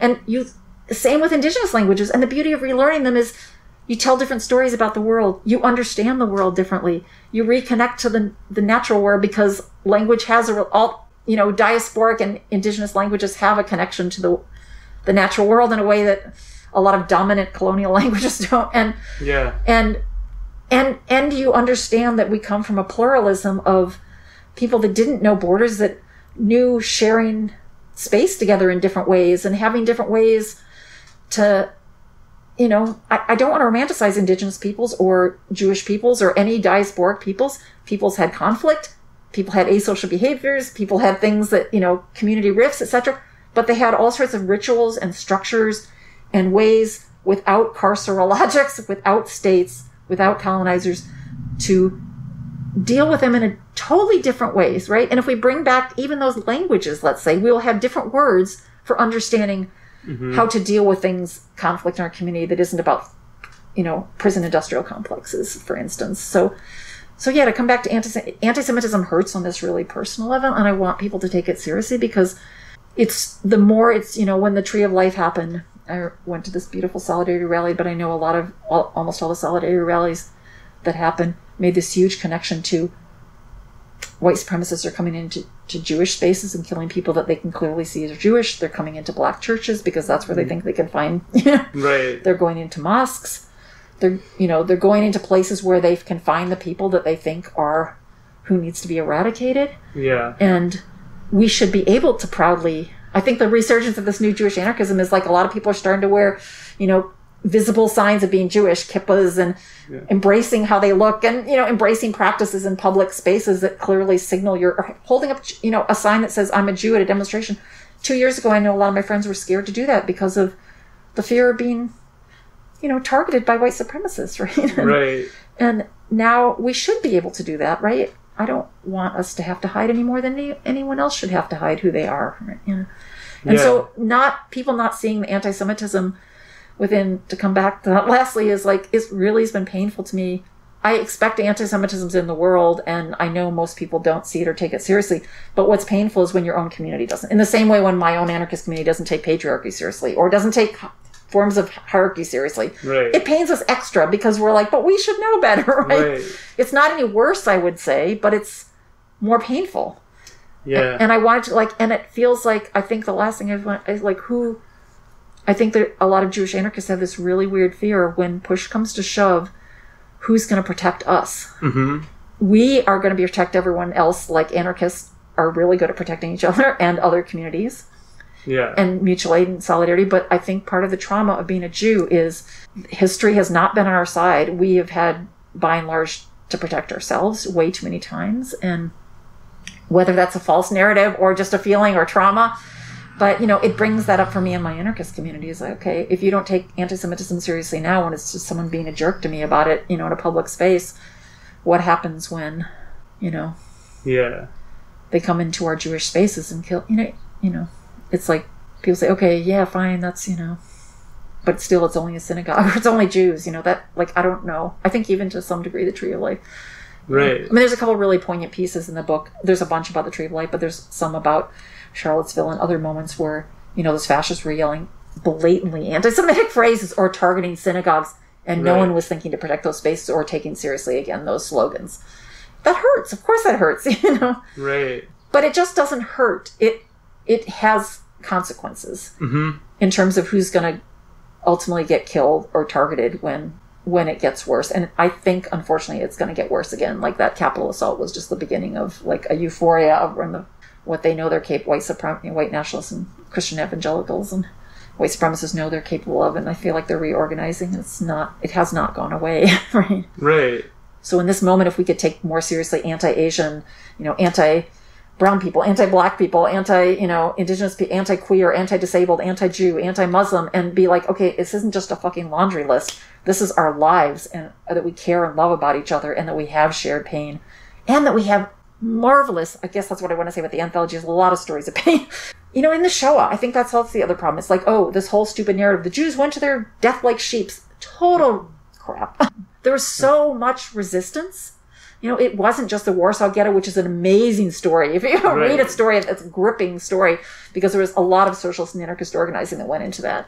And, but there was all sorts of acts of resistance by Jews and non-Jews, but especially and including Jews during that time period that has gotten erased. A beautiful book I was just reminded of the other day again is Blessed Flame about what resistance looks like when you're at the last moment when you're about to be, you know, shoved into the crematoria or something, you know, like I, not to, but I, I read about a hundred uh, anthol- um, autobiographies of people who were almost, you know, barely survived Shoah Yeah. and each of them talked about these really what what resistance is possible when almost no resistance seems possible and that's what the blessed flame is about and yet people still resisted Right. you know and we still we still are and but it, we resist in ways that also are about resilience and joy and beauty and creating life and so a lot of the forms of resistance that happened why why I point to blessed flame this book blessed flame but looking at a lot of these autobiographies is what people did was they wanted to have a Shabbat in before they were knew they would be killed in a concentration camp, or they wanted to write down their name to mm-hmm. keep, you know, or some or things they wanted to keep alive the spark of the beauty of how they understood their Jewishness or their Judaism or their rituals. It wasn't, you know, just trying to pick up arms or trying to, you know, do other forms of direct action or blowing up a crematorium, which were good, incredible forms of resistance that happened too. But yeah, just the way in which people wanted to, they wanted to, even in the worst moments, people want to create life because that's what we do. Yeah. and and beauty and so this anthology is full of like all these jewish anarchists saying okay the world's really bad right now we're facing fascism and you know ecological ecocide and now this pandemic and cap there's so many things that are so overwhelming and and we're we're going to do it as joyfully and beautifully and lovingly and resiliently and queerly and as we can till the last very last moment. And that is resistance you know that is resistance because they don't want us to live. Yeah. you know us living is resistance. Yeah. but us living i don't mean just phys- like like being surviving. I mean trying to thrive to last Yeah. And there's a lot of really beautiful pieces like that. And so I, yeah i'm diverging off the anti-semitism the anti-semitism part. So but maybe coming back around to what you're talking about the the coming back to the queerness and the transness is i think I want I wanted people with this anthology to see both the pain and the beauty. And so with anti-Semitism, you can see here's the pain, but the beauty of it is there's a lot of Jewish anarchists that are doing beautiful anti-fascist resistance, Right. and they're using their rituals as part of that, or their wisdom, or all sorts of you know, and their queerness and transness. And part of that, I've been really struck by that is there's another thing that things have been stolen from us and indigenous people and black people and a whole bunch of other people who have been di- made diasporic and colonized and destroyed by states is we've had like a lot of things stolen from us like el- elasticity and dynamism and gender. And within judaism from the beginnings there's all sorts of ways. There's stories of people without pronouns and there's five or six different ways of understanding gender and there's hope and a lot of spaces. And a friend of mine was talking to me recently about how transness or non-binary people non-conforming people are often associated with twilight in within jewish jewish writings in Oh, the torah and with liminal spaces with mm-hmm. in-between spaces. And they are considered the most holy and the closest if you believe again in some kind of holiness kind of framework. Yeah. the because they have the most ability to see in a way. And i feel like that's in a way where this like this bringing judaism and queerness and anarchism and transness together is it creates a wider frame to see more you know like as non-binary people you're not stuck in this box You're- Right. you see a spectrum that's so much more beautiful and offers so much more possibility, you know. And so if we see anti-Semitism, we see anti-blackness, and we see, you know, etc. We bring those together, we'll see a better way to struggle against it. But we'll also see all the practices we share. They're so beautiful. How, how we've kept communities together without states, and how we've done community self-defense without police, and you know, Yeah. how we've resolved con- conflict without cops and you know we'll be able to say hey here's what we, we're not going to have to ex- appropriate from each other or steal from each other we can learn and borrow from each other we can share land together without it having to be a state right? Yeah. um, there's plenty of diasporic people of all different genders and colors and indigenous or non-indigenous that had all sorts of ecological and harmonious relationships with land and you know using it for different seasonal harvesting or gleaning or commons or you know we'll have so much more wideness of a lens you know? And I, I think that's why i want people to see you know both how much we've lost as as jews and how much has been stolen from us and how much we've been devastated over the centuries by you know and and just widen the lens you know? With each moment in history and say you know there's there's more. I just learned this thing recently about the witch trials which were i love Silvia Federici's book as a lot of people do about the witch the witch hunts being this massive way to kill off like healing arts and mending arts and queers and non-binary and feminists in a way to you know rein in like massive amounts of queer women healer people murdered in the name of being witches. And then i overlaid that recently by learning about how much of that was tainted with anti-semitism and that um you know potentially why who knows if the, you know some of the understandings of what witches look like were because people equated them with jews or Yeah. you know a lot of anti-semitism that led into also who got killed during that time period and that only broadens the horror of that moment you know Right. and gives us more understanding as especially as queer anarchist jews to be like wow of course we're going to fight against those things with other people mm-hmm. and and we're going to try now to there's a whole bunch of jews that are doing healing arts right and Yeah. grief rituals and mending rituals and you know because we're reclaiming this beautiful thing that was killed off at this moment 500 and whatever years ago. This show is a proud member of the Channel Zero network of anarchist podcasts, and here is a promo from another member of CZN. Ransom notes. anarchist and anti-authoritarian music podcast. that's going to come out every month. Ransom what? Ransom notes. Ransom notes. So what's like? I mean, what's your like ultimate goal? I guess in, in this yeah. We out for the rising up against the oppressor. attitude that you see in hip hop. Let me uh, give you a sample of some of the uh, lyrics that had some of the older ladies among the stockholders white with dismay. Go to ransomnotes.libsyn.com or get them from the Channel Zero network. Yeah, you bring up a, a lot of really, I think, really ex- interesting, important parallels in listening to you. Um, like thinking about how is is making connections in my brain. So like, I connect like the kind of state based thinking, sort of with the kind of like universalism of Christianity in ways that like tries to narrow our or make our narratives like uniform. Um, and like and that's that's what cuts out the histories of resistance both with like Jews or like black resistance during the time of slavery. It makes it seem like this like simple thing.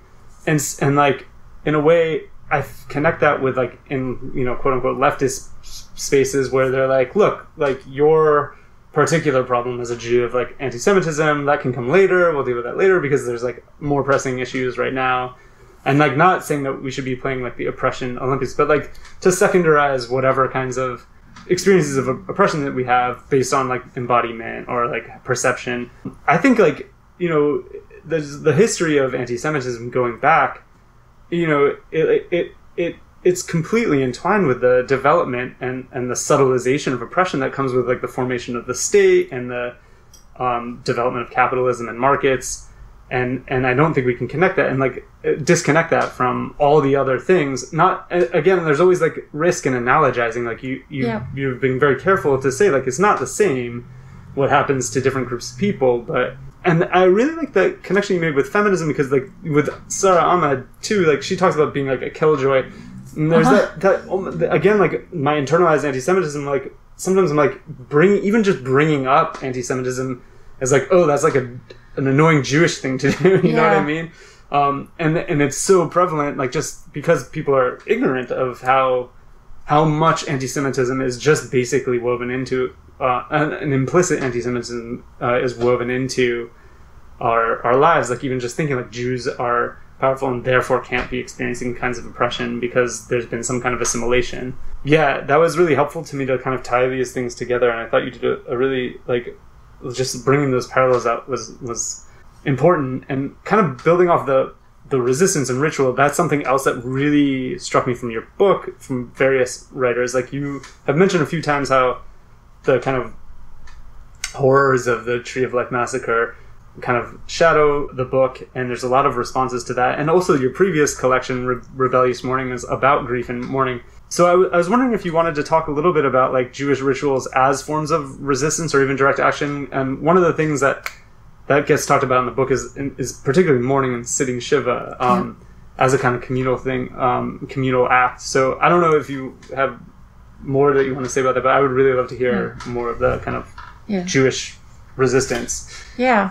Yeah, I think I, uh, for a variety of personal reasons, have been really drawn to like loss, grief, and mourning, but also because it's just part of life, you know. And as queers, anarchists, and, and Jews, and other identities, they're probably listening to this, you know, that have, you know, we're we know we are going to experience a lot of loss, and so how do we handle that? With we want to lessen unnecessary loss, and we want to I don't know, skipping over it doesn't make it go away. And not using it to in- as a form of instrumentalness, but to both allow us to fully begin the journey of processing it so we don't, you know, that people need each other to do that.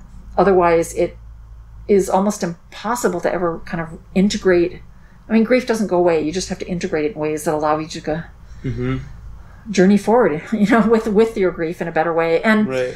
so I don't. What I love about Jewish uh, grief traditions, just to focus on those, or mourning, or traditions around sick, uh, dying, and post death, are I think they all pretty much, um, re- you know, necessitate require ask of you to to have to do it in community. Mm-hmm. Um, and so you're not supposed to uh, leave a, a body alone that is dead until it is properly buried.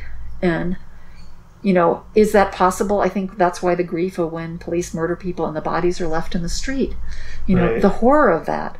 It is horrifying. It's horrifying for the people that know that person, that love them. It's horrifying for those of I've been around many of those, unfortunately, watching those bodies for hours in the street and the indignity, the uh, how uh, just you know, there's so many levels that it feels horrible. And then denying people the capacity to be with that body and stay with that body, right? And and do it in community so they can process it. And I think why those moments when the police do that have felt horrible and powerful to people is that you stand there for hours together and you create your own sort of communal space of helping. I mean, just wash it time again, where people just, you know, of course, just you can see the pain and people are instinct, you know, instinctively want to be with other people and be there for the friends and the family to help them process the horror of this for that moment and not skip ahead. And Daunte Wright, I was just struck by that because I love Unicorn Riot when they're right at the scene at the very beginning and some other live streamers right when he was first murdered. And Yeah. I would just watch for hours and people were like, before we go, you know, to the police station, we have to, we have to, you know, sing songs to the ancestors, which they did, and we have to circle the body and be here with it, and we have to write. And so I would uh, appreciate within Judaism is it's understood for thousands of years we need, we don't want people to be murdered by police. There's also a long history of Jewish songs and tradition. Jews have not liked police for a long time, and um, and uh, but we want to get back to a time when we can, you know, stay it gives you things that are already there to turn to that make sense, right? It's like Mhm. you should be with the body, but also sitting Shiva is seven. Shiva means seven. It's like when someone, you have a loss or someone dies, you're supposed to, as a community, stay together for seven days and talk and laugh and cry and eat and sing and be, be there. And if anyone, you know, has experienced someone who they love dying, you know, especially, I mean, there's so many different weird things that happen with grief. Is such a, but that first week, especially, it's almost just, it's so unreal and you just don't know what to do. And, you know, the capitalist industry tells you to start worrying about buying things, coffins or arranging funerals. But this just beauty of just being with other people is really profound, you know? Yeah. and knowing that that's the beginning of the journey. And then there's a lot of different traditions, but how do you come out of that week? There's a lot of intentionality of like, one thing I've heard was like with people, you walk outside and you walk around a block together to help you transition back into the world. Okay, so these are such beautiful moments, right? And so a lot of Jews, and there's a, me- a whole bunch of other traditions that I could go do, do, but a lot of Jews have been doing a lot, you know, as Jewish anarchists and others, like with the Tree of Life, you know. Again, I think it was just because that was people's practice. It's like that happened, and people started sitting Shiva in the street Yeah. around where it happened because they were this is what they do as their practice as their ritual and because the community was in pain and because it's in a extremely long-term jewish neighborhood it's everywhere you walk. Like it, it feels powerful to me because i don't really ever experience being around lots of things that there's so many jews. You know even if they're not all my type of jews you know Yeah, they're right. it's you know people you see yourself in a way you don't. And it but yet here they are completely feeling like everyone's sort of been a target and this neighborhood that's clearly a target. You can easily find jews in this neighborhood. And people chose to sit in the street again and be visible and do this grief ritual. And then it became a direct action a blockade in a sense too but i'm not even sure that was you know I, who knows you know whether that was the intentionality but who cares that it, ha- it doesn't really matter right? You know it's like how do we use these rituals not in this instrument? We're going to do this shiva so we can have a, r- a blockade but be like we need to be together now. We can't go home which is what what you know we have to be here together.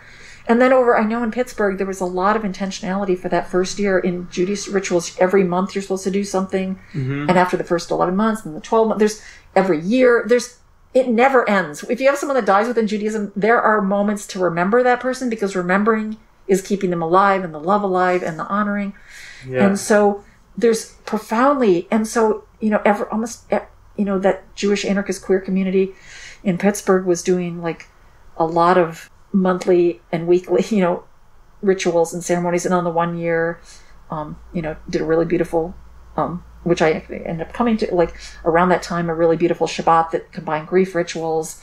Um, but all those people were doing political organizing at the same time. And I don't think they could have if they didn't have the community to be processing. They don't have to also happen in the same place, right? Right. You know, but when we've seen how profound it is, you know, a lot of direct actions lately where people are like, you're destroying sacred land with um, pipelines. You're just, you know, you're just, you're killing off sacred bodies. You're, you know, with your cops, you're doing, you know, and I think people are creating grief spaces around them, whether they're doing it explicitly or not, and bringing the. And I think a lot of because a lot of Jews are going, it's okay to be both anarchist and Jewish now, which is a new thing again. Yeah. And this is what's really, I think, really distinct about this moment. And if you read the anthology, is so different than any other Jewish anarchisms before, and be spiritual.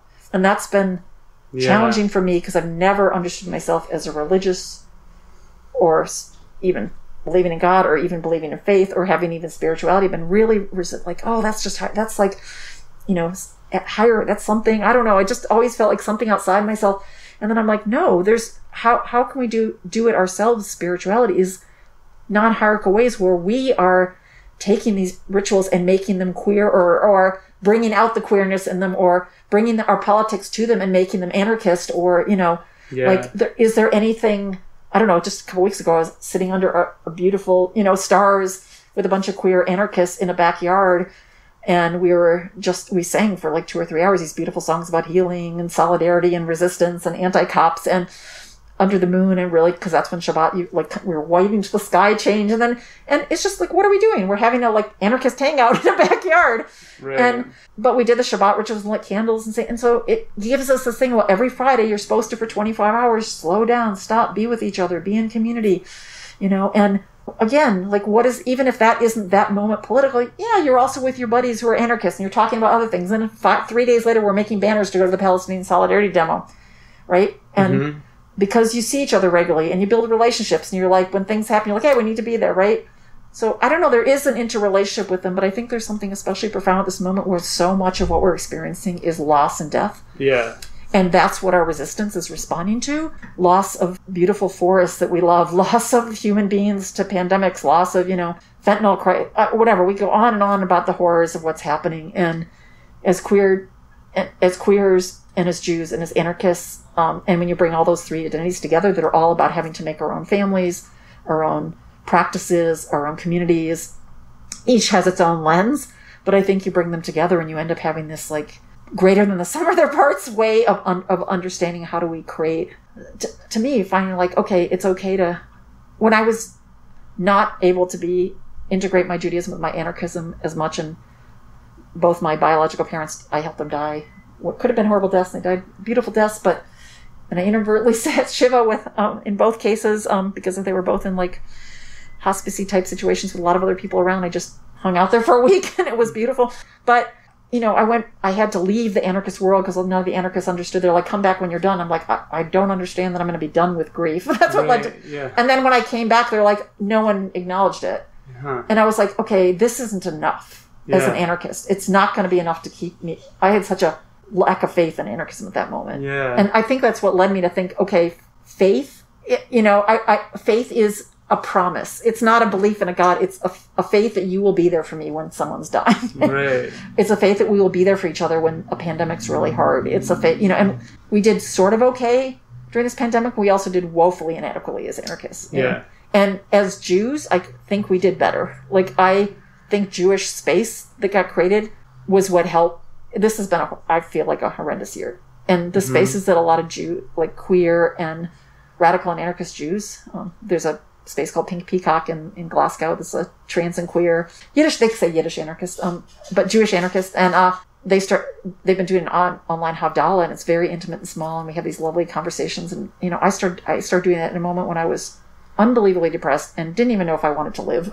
Yeah. I was just waking up every morning going, why am I still on this earth? And was at one of the lowest points.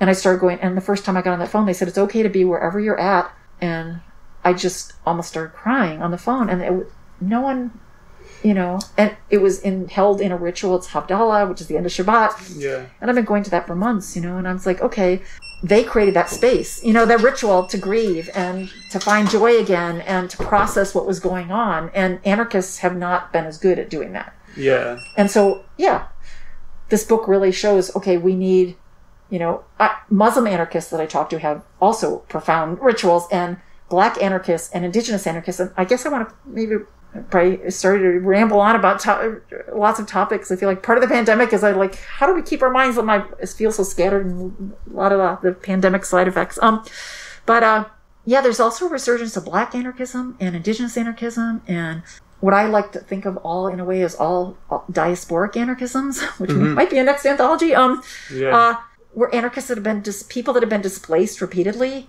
and disenfranchised and uh, you know seen as disposable are understanding that their own they're reclaiming they're, they're saying hey we're not going to let you take away things from us and in fact we're going to bring those things back in and Mhm. use them as our power and Right. as our resilience and as our playbooks and as our way of you know being this for life but it's making anarchism so much more beautifully complex and Mhm. sustainable like i i mourn as an anarchist that each year passing year the older i get i'm like why are anarchists always in their early 20s the Mm. vast majority of them where do all the other anarchists go it is hard because there are not the things that keep you in it. But when you're a black anarchist or an indigenous anarchist or Jewish or black Jewish anarchist or, you know, all the overlapping where you can go and you can say, hey, we have traditions, we have rituals. And more and more people are bringing those into the spaces of resistance.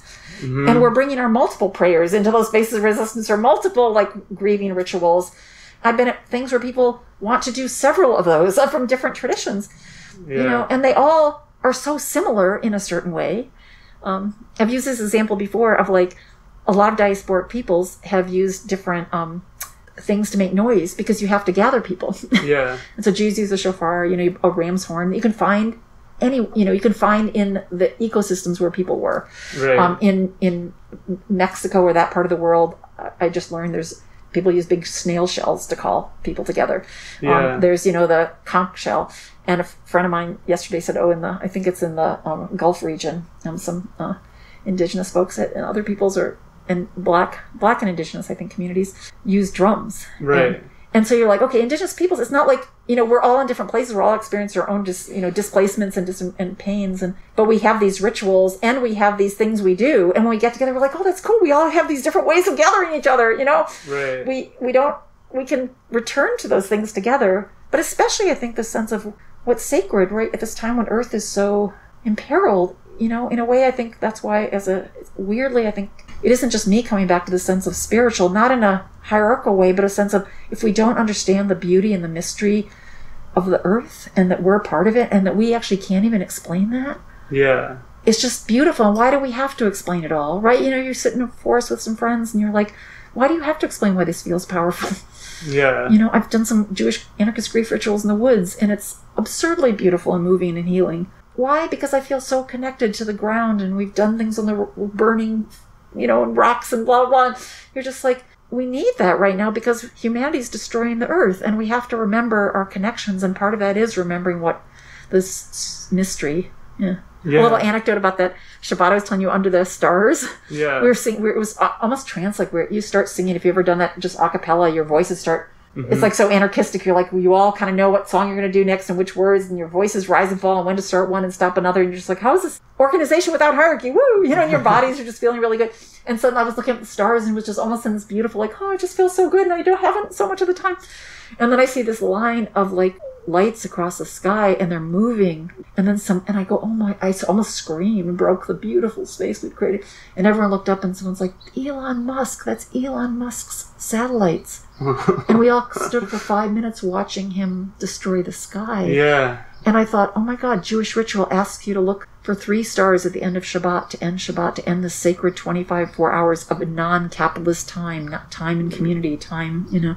And here's Elon Musk that's taking away the sky from, you know. Right. It's like, it's, it's good to do rituals to remember that we have things to fight for, things that are beyond us to even understand that we shouldn't be doing that to, right? Yeah. So rituals have meaning. They're not, you know, they're not just like, oh, woo woo, you know, I'm looking at stars. They're like also like, those aren't ours to destroy, and there aren't Elon Musk to, you know, desecrate, and capitalism in the name of money, and all this other shitty stuff, and it makes you want to be a radical and resist even more, and not have it be that, you know. Yeah. So they're interconnected, not in an instrumental way. I've been yeah that I, I love how you were talking about that. I've been uh, one way I think about anarchism or like the way I want to like talk to people about it who maybe aren't anarchists yet um, is to think about all the ways in our lives that the, like the state doesn't touch us and doesn't reach us. And really, what the history of the state and the capital is is like de- kind of tearing people away from their life ways, from the land, and making them dependent on the state or seemingly dependent on it. But like really, there's all these moments that we don't Yeah. have the state in our lives. And rich in the way that you're describing the rituals for all the kinds of cultures, not just Jew, Jewish Yep. culture, is like it's a creating a different time and space that isn't the state, that isn't capital. It's like it changes it, and that and the more we do that, we would be making our lives more outside of the state, like doing Yep. something else than Yep. what we're expected to do or asked to do. Yeah. Uh, so I think that's a really powerful way Yeah. that you described that. Yeah, no, I, I watched someone this during the quote Chinese New Year this year. They did this really beautiful like series of posts about how this is actually not the Chinese New Year; it's the Lunar New Year, and it's actually not one day. It's I don't remember. I'm gonna not say how many days it is because I don't remember, but it's multiple days. And they said each day has a very specific thing, and it's not. You know, you think about New Year's. You know, like oh, New Year's has become this ridiculous, and go get fucking drunk and Yeah. just have a horrible time, but you're supposed to pretend you're happy. Is Like that's not a ritual. No. That's like an unthinking, commodified, you know, weird or Christmas or whatever, all these things. But like these rituals that you make your own, you know, the Jewish New Year is also extends over multiple days and you're supposed to spend a lot of time reflecting on harm you've done to others and harm, and you're supposed to actually gather with the community. If you're part of a, you know, Jewish, and Jewish anarchists could stand to do this, you know, and other anarchists once a year to get together and think about harms that have happened in the community and whether it's possible how how have we dealt with them how better could we have dealt with them should you know should some things be forgiven or not be forgiven or what you know and there's all these just moments that are structured into ritual to help us do things that we should that we want to be doing in our anarchist world. You know Right. what what does an abolitionist future look like? Well if we practice it through rituals. Mhm. we're going to get better at doing that. You know or cleaning our space or refresh all these there's all these all the rituals that people do that are outside of the ones that are you know the the the hegemonic ones you know? I, I just think i think that's you know like christmas makes me so agitated and angry because you know what it's three months long it's nothing but buying things it's so dominant. Everybody assumes everyone's christian and says that you know there's so many reasons but it's it's even beyond that it's like this deadening. It's not even a holiday or ritual right? Yeah. and and when you come back to all these other traditions you realize you know people did them around harvest times to celebrate the harvest or you know around moments to celebrate you know there's a day there's a day within Ju- the highest day of sorrow and you know where Jews spend the day thinking about what mourning you know? Yeah. and so and then there's a day of highest days of joy you know? And and so, you know, like like a few years ago, I was before pandemic. I hope I can go again. Spend a lot of time in Montreal, and um, some friends and I went to uh, the day when you're supposed to, you know, start the unroll the Torah scrolls and start again. And I'd never done that before, you know. And you Yeah. take them, you're supposed to take them and dance with them. Yeah. and it was Sounds people were dancing. It was really fun. Was, and then when someone said, "Oh, let's go outside and dance," and my Jewish anarchist, queer Jewish anarchist friends and I were like, "Hey, let's dance in the street," you know, and because not everyone was a radical. Yeah. and, and then people like we all people started moving the street, and then we're kind of creating a little blockade, but we're also just dancing. Right. It was really fun, you know. And so you, we're kind of teaching people, hey, you can actually take over streets. Yeah. we weren't intentionally doing that. Like, it wasn't like a let, but it was just like, hey, we're anarchists. We're going to go on the street. you know? Right. Yeah. But there's a joy in remembering these moments. We can do this on this day. I wish anarchists, you know, and I think this year's been really hard for a lot of us because our little teeny rituals, I realize how beautiful and precious they are and how flimsy they are, you know? Like, Yeah. anarchist book fairs are our sort of like dancing together, Yeah, you know, totally. or, or, you know, I don't know. We've lost, we've lost those. And I think we need to come back into this time and think more about, which again, I really want to encourage like Muslim anarchists, Jewish anarchists, and other black anarchists, indigenous, brown anarchists, all the anarchists that are coming to try to say, no, I want to be the whole of who I am with this Mhm. and not have to keep those in separate spaces. Yeah. Of course, there's some beautiful about, you know, just being with indigenous anarchists to do your thing and just being with Jewish anar- like I get the value, the power of that too. But if we Yeah. could, if we can all start saying, hey, if we all start reclaiming all the beautiful rituals and holidays and practices and playbooks and trading them, I just think it's going to look so different. It's going to make anarchism, it's going to make our resistance better and our anarchism better too. Yeah. And our anarchism needs probably more refreshing than, you know, and it's actually a much younger tradition than most of those other um, things I'm pointing to, which have actually had to Yeah. True. much, much longer have had to be re- rebellious and exist outside the states and Yeah. much, much longer. So, you know, Yeah, I think. Um, well, we've been talking for a while. Yeah, I I, want to. put, yeah. I s- one que- like question. Maybe. Well, my question is like kind of in a lighthearted spirit, but maybe I don't know where we'll go with the answer. But one thing that struck me reading this book, talking to my people, my queer, trans, Jewish anarchists, is like the way that all of those things, being queer, being Jewish, or being anarchist, like individually often are like, oh, am I queer enough? Am I queer enough? Am I Jewish enough? I don't know enough about Torah, or like, am I anarchist enough? Am I committed enough to the struggle? And I just wondered if you had any thoughts about how these three things. I mean, the book gives us a different image of that for sure, but like, why do we internalize our? How, how do we internalize these like this in, impossible measurement of like what we should be to really be that? yeah. You know what is funny when you said that? When you said that, I was like, that's so true. Like almost, I don't know, almost everybody, especially with Jews. There's something about Jews always going, I'm not a good enough Jew. I don't know what that is. I don't because I, I don't know what that I feel that yeah. Maybe all of them, yeah. Yeah. maybe less so with an anarchism but um, but but yeah i think there's something nice about that i don't know it's like there's if, to flip it around there's something nice about being humble about like you have to we have to always be striving to be good enough to be these things you know like Yeah. it's an honor to be all of them to me and to be like will i ever be a good enough anarchist probably not but i should aspire to be a better and better one all the time and i just you know especially all three of those in their own way, have like really profoundly beautiful. This is not a universal because some people say, oh, well, I'm not always welcoming," but I think in general they're very generous and welcoming and mutualistic and recipro- You know, if you say, you know, you say you're interested in, eh, you know, anarchism, people start handing you zines or you Yeah. know, or whatever it is. Like people really do want to share and borrow, and and so yeah, maybe to flip it around, maybe it comes out of a humility. I don't know where I don't know where that was. You know, I mean, it also maybe comes out of it is really hard to feel enough. Yeah, I don't know. I, will- maybe I'm just going to flip it around because I think it's nicer like to that. think. Yeah, to think about a humility, which I think maybe we need, and just be like, let's aspire to be better and better at all of them. You know, and it's it is just I guess maybe where the not good enough comes from. It's hard enough to be all these things in a world that says those things aren't. You know, especially like radical. I'll just say radical. You know, radical versions of Judaism and, and anarchism and queerness that they're all seen as as not enough for them. You know, they're outside of the. Right. And so it's too bad that we have to take on that sort of self doubt about ourselves. But it's hard. It is hard. It does become hard to sustain them sometimes. So again, I just, re- I guess I really, I hope with this anthology and almost everything I do to really emphasize like all we really have is each other and the solidarity more than anything to me is if we don't stick by each other, you know, we don't have anything else but each other. And maybe we'll feel more of enough if we try harder to be there for each other in ways, you know, in the fullness of who we are. So yeah, I think, I don't know, for me, I want to hear other people point out anti-Semitism so it isn't just Jews. I want, you know, I want to hear people that are not queer. I want to hear us point out other, not have to be, have everyone have to be their own advocate, as it were. Right. um, yeah. So maybe that's another way we don't feel enough because we all just feel so invis- invisibilized by each other, which I think is sad, you know?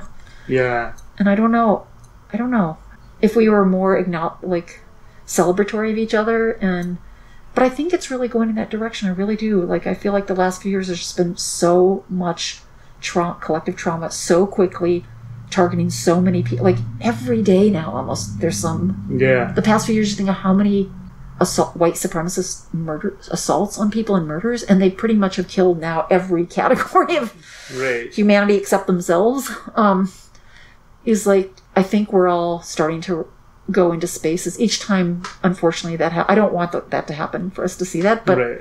then I start realizing we're like, oh, we are enough because we start seeing each other. You know, we are enough because we're there for each other. So yeah, so maybe we'll start getting past that Yeah. when we all try to be more of ourselves to each other too. You know. Well, I I mean, I'm I'm well, I'm grateful for you giving me your time to talk for the final straw, and also to, like it was really exciting to be in an actual space with you. Yeah, to- we're physically together. Yeah. Yeah, in masks Um, as good anarchists. but also for putting this book together because it it did for me is like made me see that I'm not alone and that there's other people struggling with the these same questions and having answers that I would never have thought of or that confirm things that I feel and so the the book creates this community too and I'm, I think is really important work so I'm really grateful mm-hmm. to you for for that and I'm, and I, I I really like the idea like that may we be queerer and more Jewish I know. I want to be. I know. Maybe be more. That's a good. Like maybe be more. We are. Yeah. We have to be more of all of them. Like I mean, that's again what I said. I wanted this anthology to be like liberatory. I like. I wanted. It sounds. Yeah. Like you know, queer liberation. A lot of Jew, I don't know. Jewish liberation sounds weird, but I do want like a libertariness within our Judaism and our Jewishness as radicals and anarchists and queers. You know, and to be to. I wanted it to be like bold and beautiful and and assertive in a way you know, of, of the beauty but not just for jews i really i hope other like i really i've been really happy because one thing i was trying to do with this was to show that like to not just have this be something for jews is Yeah. again to have the anthology really show the interconnections of struggles and identities and you know jews are all colors all languages all places. There are no borders within judaism. And if we don't see that enough you know we push ourselves harder. I'm not saying that it's perfect at all but there is no like homogeneous jew. And that points to this beauty of like we are all things across all borders. Yeah. and including across, like beyond just judaism. So i hope it i feel like it touches people on this other a level outside being a jewish anarchist but i also am really really appreciating i feel the same way i've like really been great i really want to acknowledge and thank all the 40 or more people that contributed to it and are i've been really really touched by how many people are reading it and saying oh wow i i feel i feel like yeah, seen for what I've been struggling with as a as a queer, feminist, non-binary Jewish anarchist, you know, Yeah. who's trying to be part of this resurgent, beautiful, bold new thing that's being coming out and creating this, you know, new kind of new kind of anarchism with other anarchists that are coming to their senses of who they are together. And it's just really touching to see people. I, that's what I want. I want us all to see ourselves, the fullness of ourselves more. You know, that's the title. There's Yeah. nothing so whole as a broken heart. We're also brokenhearted by this world because we should be, but I want us to be whole in that too, you know, and so I'm loving that you and other people are responding to it that way. Yeah. Well, thank you so much. Yeah. Thank Thank, you. so much for having me on this. This is The Final Straw, and I'm Bursa Goodness. This show will later be archived at thefinalstrawradio.noblogs.org, and you can email us with questions and suggestions at thefinalstrawradio at riseup.net or thefinalstrawradio at protonmail.com. If you'd like to use any episode for your project or radio show, feel free to do so. Just send us an email to let us know. If you care to, you can send us letters at the Final Straw Radio, P.O. Box 6004, Asheville, North Carolina 28816. This show is brought to you by Firestorm Books and Coffee. Located at 610 Haywood Road, Firestorm Books and Coffee is a worker owned co op in Asheville specializing in offbeat, underground, and independent literature. You can find a catalog of Firestorm's books and zines, plus a full calendar of events up at their website, firestorm.coop thank you